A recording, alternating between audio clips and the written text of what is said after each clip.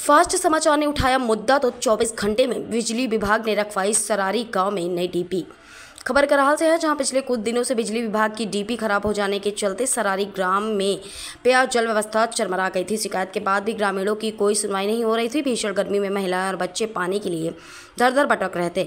जब इस खबर को फास्ट समाचार चैनल ने प्रमुखता से प्रकाशित किया तो बिजली विभाग के ज़िले के अधिकारी हरकत में आ गए और ग्रामीणों को आ रही समस्या के निराकरण के लिए विभाग ने आज शनिवार को नई डीपी सरारी गाँव में पहुँचा दी है, जिससे ग्रामीणों की पेयजल और घरेलू लाइट की व्यवस्था सुचारू रूप से शुरू हो सकी है। देखिए करहाल से संवाददाता अमित कुमार श्रीवास्तव की रिपोर्ट।